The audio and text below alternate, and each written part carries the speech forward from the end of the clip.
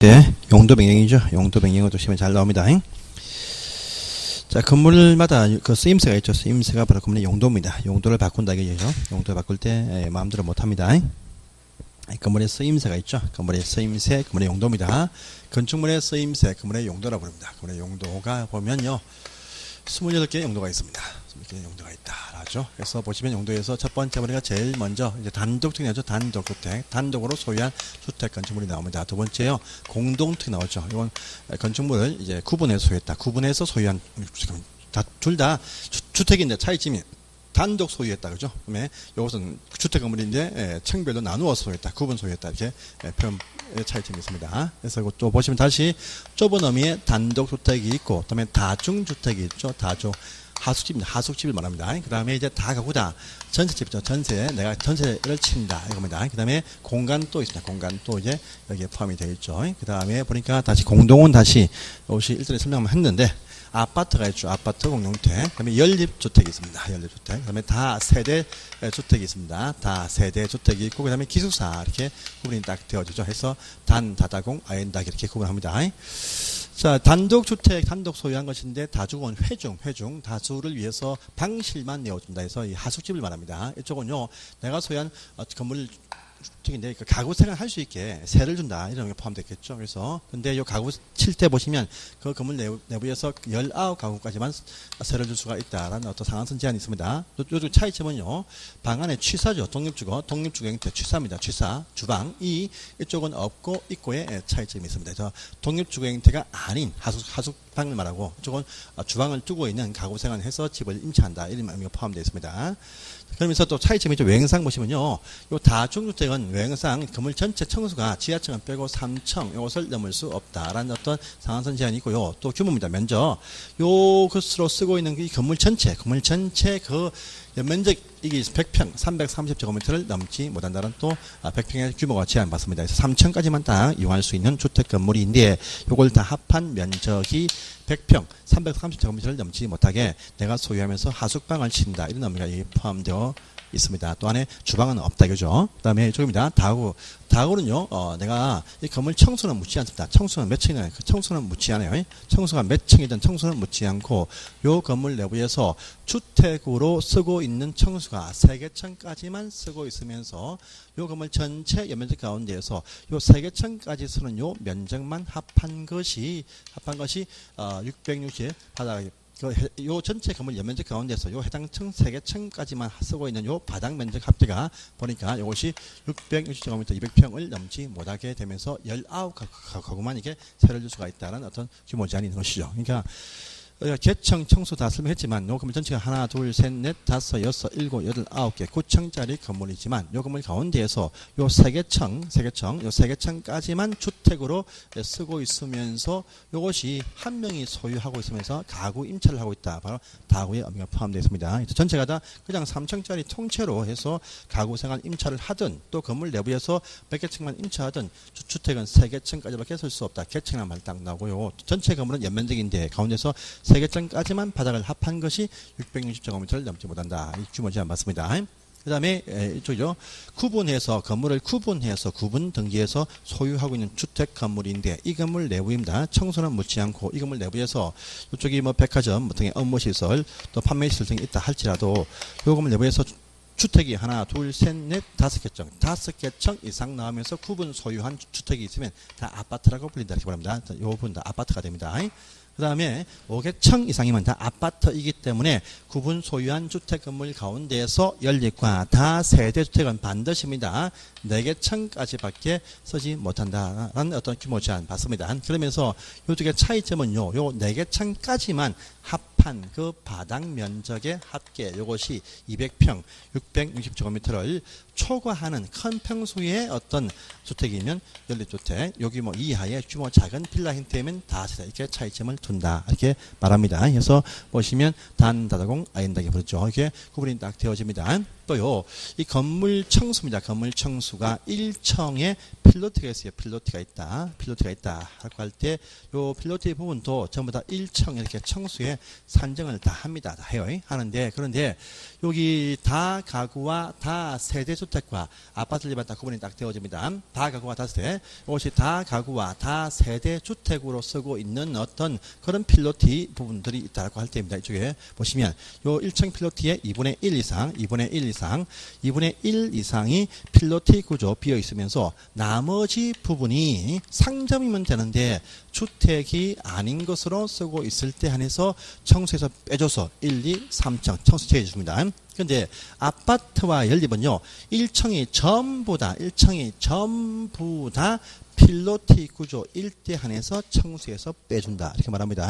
그 외에는 다 청수 1층에 다 포함됩니다. 이렇게 해서 청수에서 혜택을 주는 네 가지 종류의 건물이 있다. 이거밖에 없습니다. 그 외의 건물은 여러분 혹시 보통의 뭐 오피스 건물이다, 원룸이다 할 때 1층이 필로티다 할 때 1층 잡고 1층, 2층, 3층, 4층, 5층 올라가는데 이것이 이렇게 다가구나 다 세대주택 일대에는요. 이것이 1층, 2분의 1층 필로티이고 이쪽 부분이 나머지가 만약에 뭐 식당으로 쓰고 있다 할 때는요. 빵층 1, 2, 3층 이렇게 올라갑니다. 알겠죠? 그, 그 외에는 다 1층에 잡힙니다.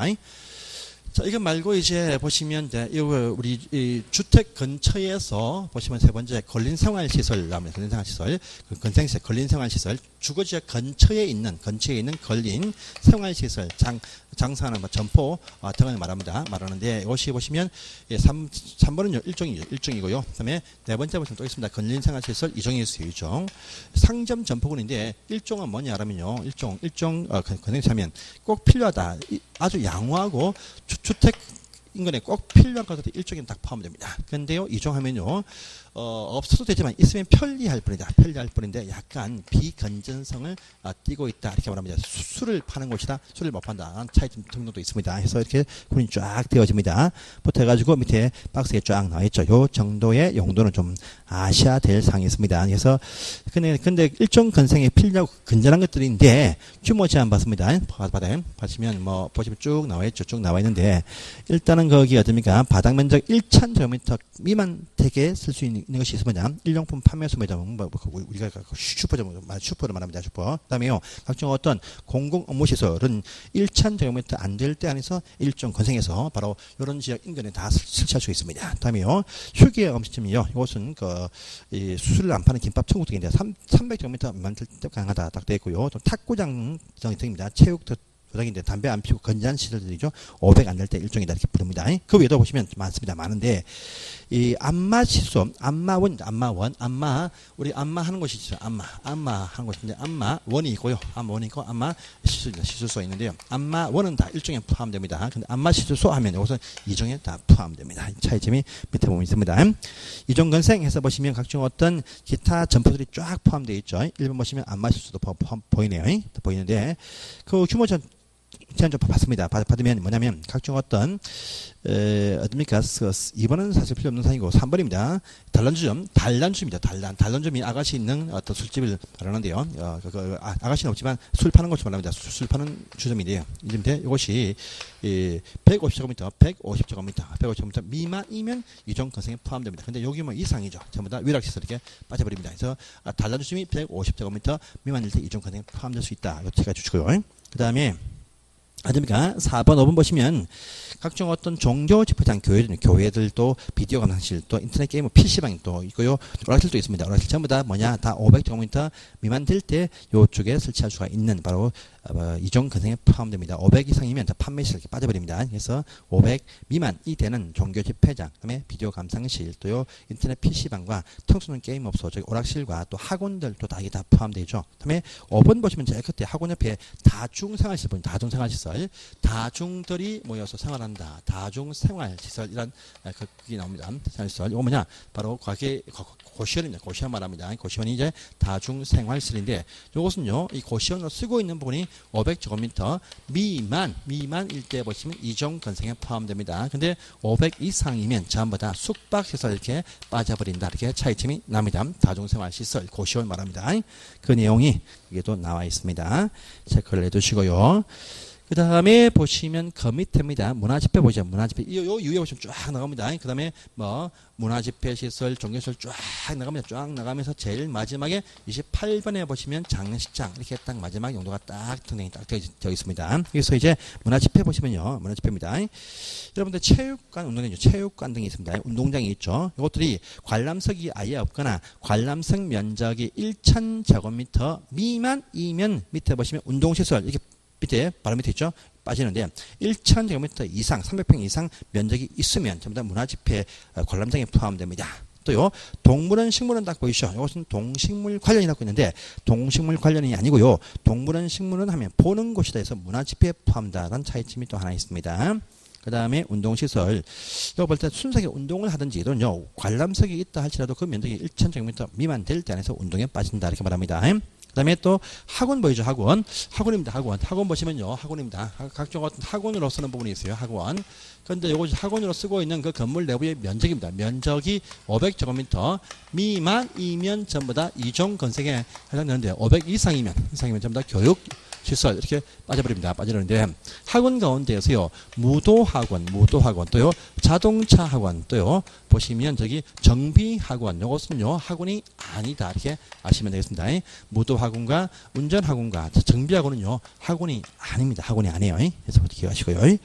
그 다음에 이제 그 밑에입니다. 운수 시설 보이죠? 운수 시설 여객 터미널과 철도 역사, 철도 시설과 공항 시설과 항만 시설 여기 포함됩니다. 포함되는데 물류 터미널 딱 나면 이거는 운수가 아니고 창고에 포함된다라는 또 차이점이 하나 있습니다. 자 보시고요. 그 다음에 저 밑에입니다.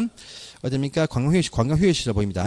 음악당 극장, 음악당 극장, 음악당 극장은 문화집회에 포함되지만 야외, 실외에 있으면요. 관광휴게에 포함된다. 차이점 또 하나 있습니다. 그래서 야, 음, 음악당 극장이 야외에 있으니까 관광휴게다. 이렇게 빠져버립니다. 그 다음에 어린이회관은요. 노유자실 아니고 이것은 관광휴게에 포함된다. 이렇게 말합니다. 제일 마지막에 제일 끝에 보시면 장례식장이 있다 죠. 근데 대형 병원에 부설 되어져 있으면요. 이것은 장례식장이 아니고 어려시설에 포함된다. 그런 차이점이 있습니다. 그래서 요 정도의 용도가 살짝 시험에 나올 수 있고 나올 수도 참 많습니다. 자 넘어가시고 다음 장입니다. 다음 장 하시면 시설군의 분류 딱 나와서 4번에 있습니다. 그래서 이 많은 건물의 용도가 참 많습니다. 참 많은데 이 많은 용도의 변경사항을 다 관리한다. 불가능합니다. 엄청나게 많은데 이 많은 용도들을 다 배경상을 다 관리한다. 이것은 도저히 심사를 할 수가 없습니다. 없다 보니까 이 건물들 가운데에서 건물의 쓰임새입니다. 쓰임새. 쓰임새에서 위험입니다. 위험. 위험이 비슷한 용도를 다시 묶어 나왔습니다. 위험입니다. 위험이라서요. 건물의 붕괴 우려가 아니고 이 건물 이용 때문에 사람들이 사람들이 사상 다칠 수 있고 죽을 수 있는 이런 식의 위험이 큰 것을 말합니다. 요 위험을 다시 분류를 딱 했어요. 그래서 아홉 가지의 시설건 분류가 딱 나오는데 이건 반드시 시험에 갔을 때 꼭 해야 된다. 이건 시험에 꼭 나오는 상입니다. 그래서 이 건물 많은 용도 가운데서 위험의 분류를 통해서 아홉 가지의 시설군이 있더라 해서 제일 위험하다. 첫 번째 뭐냐? 자동차 출입할 때 가장 위험하다. 합니다. 제일 많이 주고 나옵니다. 다음에 두 번째입니다.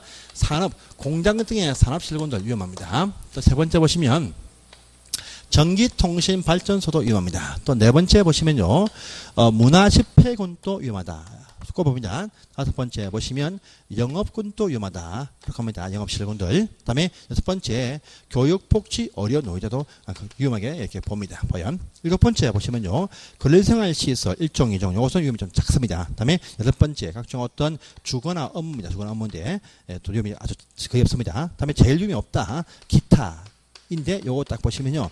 바로 동식물, 동식물 낳고 죽여 키운다. 동식물 키우고 낳고 죽인다. 동식물 관련 시설이 가장 위험이 작게 이렇게 봅니다. 그래서 이 사람들이 요 건물들을 이용할 때 가장 위험이 작은 것이 바로 요 순서입니다. 그래서 자, 산, 전, 문, 영, 교, 근, 주, 기 해서 건물의 위험의 쓰임새 순서입니다. 꼭 외워야 됩니다. 이거 안, 안 했으면 안 돼요. 자, 산, 전, 문, 영, 교, 근, 주기에서 위험성의 순수다. 이렇게 말합니다. 여기서 같은 시설군 안에서 어, 같은 위험군도 몇 가지 용도도 확인이 필요한 것이 몇 가지가 있습니다. 그래서 산업 등이다 할 때 산업 둔 안에 포함되는 또 용도가 있습니다. 보시면 우리 공장군이 산업의 대표 주자가 됩니다. 공장군. 그 다음에 보시면 어, 나오는 물건들 창고에 일단 쌓아둡니다. 창고에 쌓아둬야 창고군도 여기에 포함된다. 창고에 쌓인 물건들 지방에 옮기죠. 운송한다. 운수한다. 운수한다랍니다. 그 다음에 공장선 나온 물건들 위험물도 나옵니다. 위험물 저장 처리해야 됩니다.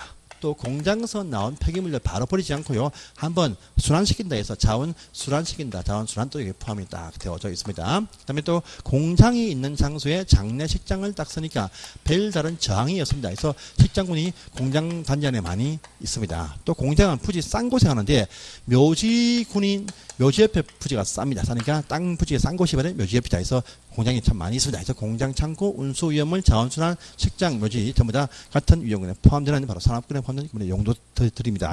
그다음에 문화 집회가 있어요. 좁은 의미의 문화 집회군이 있습니다. 첫 번째 또요 음주 문화 먹고 마신다 유랑 문화 이게 포함되어 있습니다. 그 다음에 종교생활, 문화 집회니까 집회하러 모이죠. 집회생활 모인다 해서 어, 종교생활도 종교실도 여기 포함되어 있고요. 그 다음에 보시면 관광문화죠. 관광휴게 문화 해서 여기에 포함시킨다 해서 문의 종각, 문의 종각이 네 가지 유형군에 포함되는 검문의 용도입니다. 그 다음에 영어권 보면 판다이죠. 판다 해서 판매 시설, 백화점, 이마트 같은 판매 시설군 여기 포함됩니다. 숙박 시설도 방실, 홍보에서 판매다. 숙박 시설. 그 다음에 운수 말고 운동 시설, 헬스 클럽 등 영어권을 판다이죠. 운동 시설 여기 포함됩니다.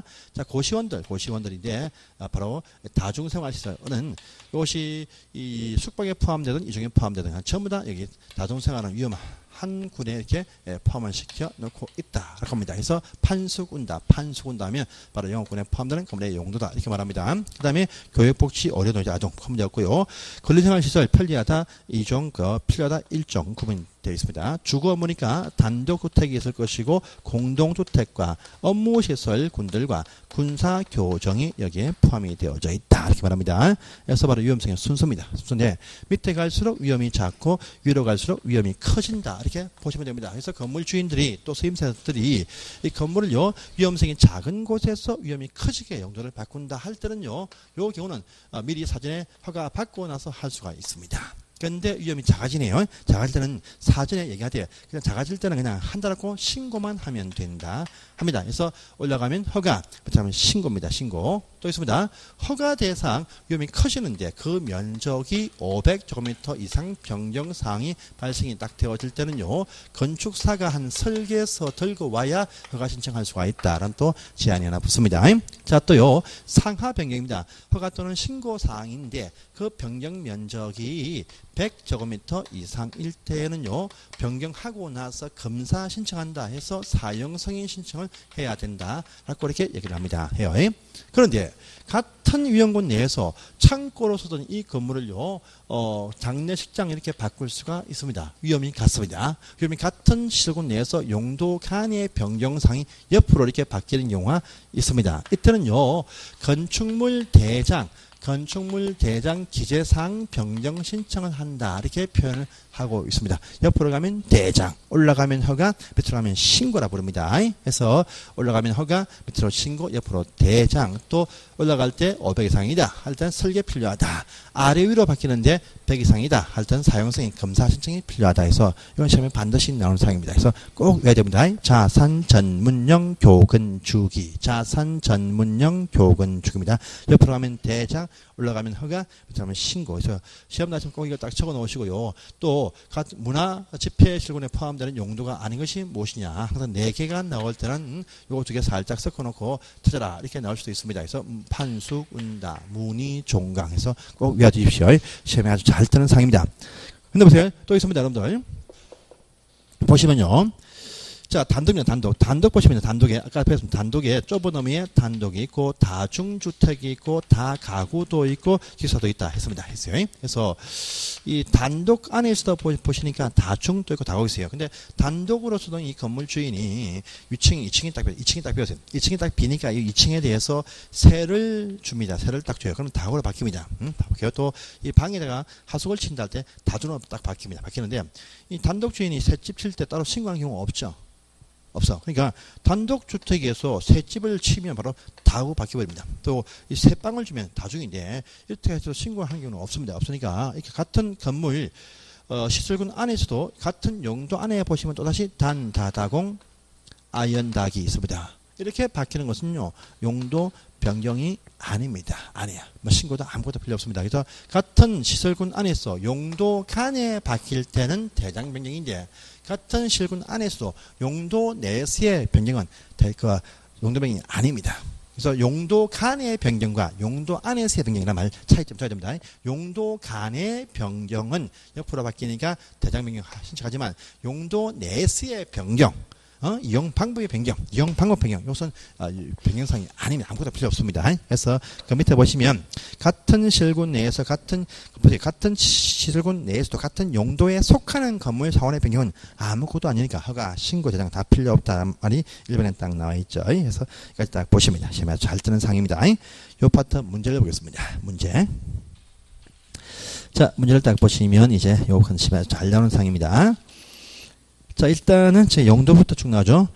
9, 번 문제입니다. 9번 문제부터 봅니다. 9번 문제. 자, 오는 것은 무엇이냐 되겠습니다. 자, 1번입니다. 노인복지시설 가운데에서요. 노인복지주택은 뭐였죠, 이거? 이거 뭐죠? 준주택이죠. 주택이 아니라 준주택이 붙으니까 주택이 안 됩니다. 그 노인복지, 노인복지주택은 바로 준, 준주택이다. 우리, 우리 배웠습니다. 준주택, 준주택 하면 뭐였죠? 주택 하면 이 주택이 아닌데 주택 기능을 하고 있습니다. 그래서 오피스 호텔 또 있고 기숙사 있고요. 다중생활 시설 있고 노인복지 주택 해서 이건 주택이 아니고 준주택이 해당되죠. 그래서 1번 질문 X입니다. 있고요. 이번입니다. 다중주택은요, 연면적이 620안 되죠. 330이죠. 3층까지는 좋은데, 연면적이 330이 아닙니까? 그래서 이번 덱스네요. 다음에 3번입니다. 다 가구주택은요, 층수가 4개 층 아니죠. 3개 층까지다 해서 바닥, 그 3개 층까지 4개 층 이해가 아닙니다. 그래서 3번 X고요. 다음에 아파트나 연립주택 일때는 1층 전부가 필로티 구조일 때 청소에서 제외한다. 해서 요거 맞네요. 그 다음에 5번입니다. 연립택은 어, 4계층까지 이하면서 한계동의 바닥이 660을 초과할 것이다. 맞습니다. 맞는데 그 문장 관리해 보시면요. 지하 차고 면적은 제외한다. 포함이 지하 지하부는 제외합니다. 그래서 아, 바로 5번 질문 X가 되겠습니다. 그래서 4번만 답이 맞다. 이렇게 이해하시면 되겠습니다. 넘어가시고 다음 페이지입니다. 10번 문제 다음 중에서 공동특이 아닌 것이 무엇이냐? 아연 다기가 아닌 것이 하나 보입니다. 뭐죠? 4번에 다중은 아니죠? 다중은 단독에 포함되겠죠? 해서 첫 번째는 4번은 단독 유통입니다. 아연 다기 해서 1, 2, 3, 5번은 맞는데 4번은 단독에 포함됩니다. 다음에 10-1번. 이종 근상에 해당하는 것이 무엇이냐랍니다. 앞으로요.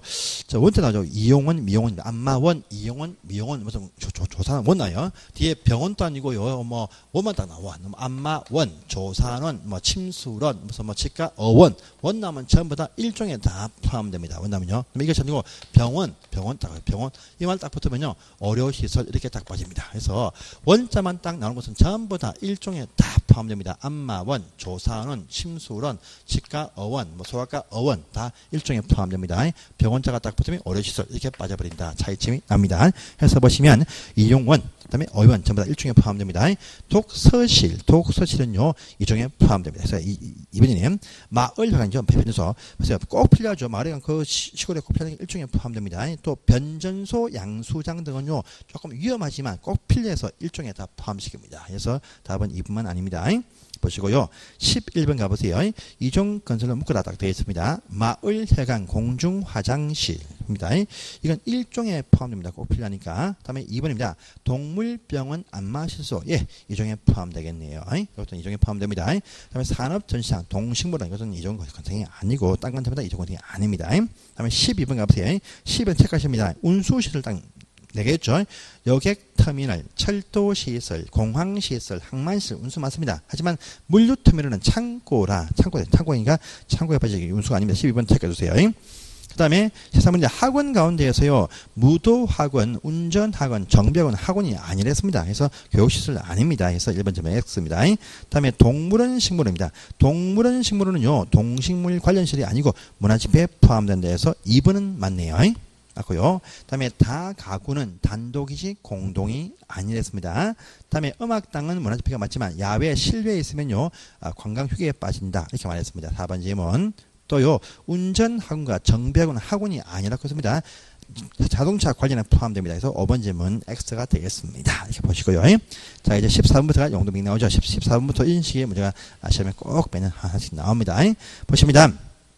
자, 다음 중에서 관할 신고한테 허가받고 하는 용도 변경인 것이 무엇이냐 되어 있습니다. 자동차가 이종 건상시설 밑으로 쭉 빠지네요. 밑으로 쭉 빠집니다. 쭉 빠져요. 일단은 신고입니다. 신고가 아니죠.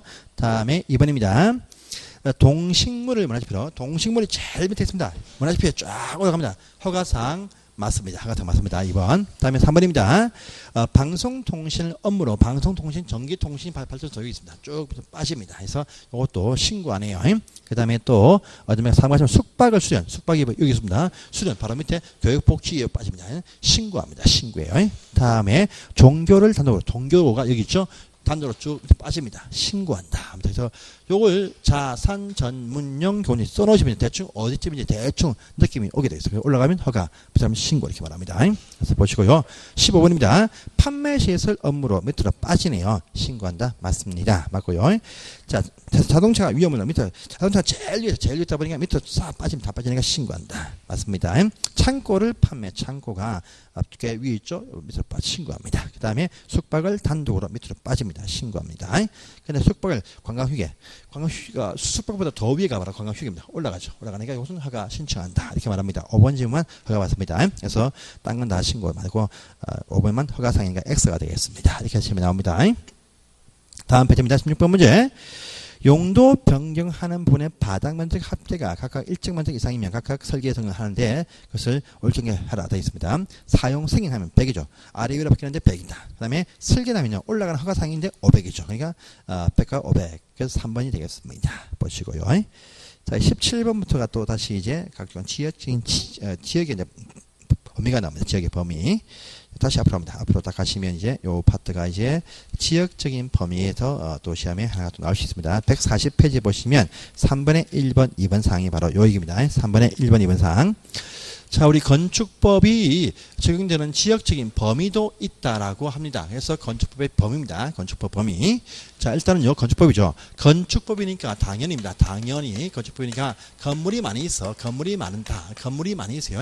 건물이 많이 있는 곳에 요, 이 법이 전부 다입니다. 전부 다 적용된다. 그래서 건축법은요, 건물이 많이 있는 장소에서는요, 이 법 조항이 전부 다 적용된다. 이렇게 말합니다. 그래서 건물이 많을 때 해당 그 토지. 그래서 건물도에 보시면 건물입니다. 건물도 보시면 그 종류가 보시면 28개 있습니다. 그런데요, 토지입니다. 토지. 토지도 보시면요, 어, 바로 21개의 분류가 쫙 되어 있습니다. 건물도 26개, 토지도 21개 있습니다. 있는데 보시면요. 건물이 많이 있는 장소에 보시면요. 어, 바로 어, 도시지입니다. 도시. 도시지역 있어요. 도시지역 말고 우리 21개인데요. 21개인데 크게 보시면요. 우리 도관농입니다. 도시 지역과 관리 지역과 농림 지역과 자연환경 보전 지역 크게 구분하면서 다시 도시는 다시 무슨 주거 지역, 뭐 상업 지역, 공업 지역, 또 기후지역 쫙 떠집니다. 그렇기 때문에 큰 대부지가 바로 도간 농업입니다. 도시 지역 관리 농림 자연 보전 지역인데 도시 지역 건물이 많습니다. 많아요. 많습니다. 다 중요합니다. 다음에 두 번째입니다. 도시 지역이든 아니든 해당 그 지역이 지구 단위 계획이다. 지구 단위 계획 구역이다. 어? 앞으로 건물이 많아질 곳에서 건물 많이 짓는 사업을 할 때 보시면 지구 단위 계획을 정할 수 있어요. 그래서 그 지구 단위 계획 구역 하면 앞으로 건물이 많아지는 사업을 할 장소입니다. 그러니까 많아질 것이니까 미리 다 적용한다. 이렇게 얘기합니다. 또요. 세 번째입니다. 행정구역이 동이나 읍입니다. 동읍. 동이나 읍은 건물 많은 지역이 동이나 읍이 됩니다. 건물 많이 없으면 그 지역이 바로 면, 면 이렇게 말하죠. 하니까 건물 많은 곳이 동이나 읍입니다. 또요 네 번째 섬입니다. 섬. 어, 시골 면도 아니고 동이나 읍 소속의 섬입니다. 섬. 섬인데 섬에 있는 인구가 500명 이상 살고 있다라고 합니다. 그러면 건물이 꽤 있는 곳입니다. 그래서 동업 소속 섬일 때 인구 500명 이상일 때 건물이 다소 많다 보니까 요 네 가지 중에 한 가지만 딱 걸리면 다 적용을 다 합니다. 예, 다 합니다. 그래서 도시 지역이든지 지구 단위 계획구역이든지 동이나 업이든지 또요 서민대 500명 이상 살면 다 적용 다 한다랍니다. 다요. 그러면 공입니다. 또 보세요. 반대로. 자, 그러면 도시 지역도 아닌 곳이 있어요. 어디냐 하니까 뭐 관리 지역, 또요 농림 지역 또는요 자연환경 보전 지역 이렇게는 시골 농촌 지역이 있습니다. 있어요. 그러면서 요 장소가 또 그러니까 지구 단위 계획구역도 아닌 곳이라고 합니다. 또 동시에 동시에 요 장소가 또 동시에 동도 업도 아닌 바로 면 단위 지역이라고 합니다. 음? 예. 도시도 아니, 아니고 시골 농촌 관농자 관리 농림 자연환경 보전 지역이고 또요 지구 단위 계획구역도 아니고 또 면 단위 지역이다. 시골 농촌 깡초입니다. 깡초. 요세 군데 동시에 딱 해당이 딱 되어지면요 건축법 건축 법 적용을 하지 않는다가 아니고요 여섯 개 조항만 적용을 안 한다 이렇게 말합니다. 그래서 뭐냐니까 두 문자가 나옵니다. 대 예, 도, 대도, 대도, 근, 음, 대방이라고 불러요. 대도, 근대방이라고 부릅니다. 뭐냐면, 시골 농촌입니다. 보- 보통요, 건물 지을 때입니다. 건물 지을 때는요, 요 대지가, 대지에 건물 지으려면 적어도 전부 다이든 또요, 일부이든 간에 요 대지가 도로입니다. 도로. 이 도로란 곳에 적어도 2m 이상은 붙어 있을 때 왔다 갔다 할 수 있어요. 그러니까, 어, 대지에 건물 지을 때는 도로에 접도를 해야 됩니다. 그런데 시골 농촌은요, 농촌은 이런 대지와 도로의 관계 적용 안 합니다. 시골 농촌은요, 마을길이 있는데 거기에 논이 있습니다. 논이 딱 있어요. 있죠. 저 뒤에 자기 땅이 있습니다. 이 땅에다가 자기 논 부지 안에다가 자기 농 관리를 위해서 집을 이렇게 지어 놓을 수도 있습니다. 이럴 때 접도 안 했습니다. 해도 괜찮다는 것이죠. 왜? 알아서 바- 밟고 갈 수 있으니까, 그죠? 시골 농촌은 접도할 필요가 없습니다. 또 시골 농촌은요, 도로입니다. 도로를 지정 등 할 때 보시면 이제 광해 동의 등의 절차가 필요한데 시골 농촌은요 도로 지정 변경할 때 그런 절차 필요가 없다 이렇게 말합니다. 또 시골 농촌은요 어, 차가 많을 때 겨- 보시면 길이 좁을 때 보시면 도로 중심선에서 일정 거리 띄워서 건축선 정한다 이렇게 말하는데 시골 농촌은요 건축선 이런 거 없습니다 없어요 차가 없다 이죠. 또 시골 농촌은요 어, 대지의 분할 제한 면적, 대지가 최소한 필요한 면적이 있습니다. 건물을 짓는 땅 대지가 되기 위해서는요, 적어도 요 정도 땅 면적은 딱 나와야 돼요. 그래서 보시면 다음에 배우실 상인데 주거 지역은 적어도 18평, 60은 필요하고요. 상업 지역은요, 적어도 150평이 150, 150 제곱미터가 필요하다. 공업적 최소한 150이 필요하다. 또요 녹지는 보시면 200이 필요하다. 또요 도시 외 시골 농촌은요 60은 필요하다. 이게 이제 시골 농촌에 60제곱미터에 해당되는 땅 88평짜리 이런 땅은 시골 농촌에 없습니다. 없으니까 시골 농촌 다 부지가 크다 보니까 이런 작은 땅은 시골 농촌에 안 나온다. 필요 없다. 이 말 되겠습니다. 그 다음에 또 방화지구 적용하지 않는다랍니다. 방화지구 이건요 건 불타기 쉬운 건물이 조밀하게 딱 붙어 있을 때 방화지구인데 시골 농촌은 지- 집이 띄엄띄엄띄엄이죠. 방화지구 필요 없다. 얘기입니다. 그러니까 요 시골 농촌은 딴 거 아닙니다. 대, 도, 근, 대, 방만 적용 안 하지. 이것 말고 기타 건축 제한은 다 적용합니다. 높이 제한, 건폐율 등은 다 적용합니다. 요거 다섯 가지만 적용하지 않는다 해서 요 시골 자, 도시 지역도 아니고 지구도 아니고 동업도 아닌 이 장소에서 적용하는 조항이 무엇이냐? 땅 나면 1, 2, 3, 4번 땅과나 건폐율은 적용합니다. 이것만 이것만 적용 딱 안 해요. 대, 도, 근, 대, 방만 적용 안 합니다. 바로 그 말입니다. 그 말이 이제 밑에 보시면 나와 있습니다. 자, 그리고 오른편에 가시면요. 오른편에 가시면 이제 건축법 적용 특이 되어 있죠. 이건 얘기입니다. 요 건축법을 다 적용 다 하는 요런 지역이라 할지라도 어떠한 건물을 지을 때는요. 어, 건축법 제한의 일부 조항을 완화 요청을 할 수가 있어요. 있는데 그것이 쭉 나와 있거든요. 수거, 삼전, 리장, 방해, 특도, 공인데 이건 알 필요가 없으시면 안 나옵니다. 근데 밑에 이 가세요. 이, 이 가십니다. 이 박스 안에 이 보시면요. 이것이 자, 어딥니까? 저기, 청, 2000, 2012년, 2012년만 해도요, 해도 요거 전부 다, 다 공제를 해줬는데, 지금은 안 됩니다. 그래서, 어, 우리, 어딥니까? 아파트입니다. 아파트 등에 보시면, 아파트 등에, 아파트 등이 있죠? 아파트 등이 있습니다. 아파트 등에 바로 주민, 어, 생활시설이죠. 주민 공동시설, 주민 공동시설, 주민 공동시설, 이거 딱 지을 때요.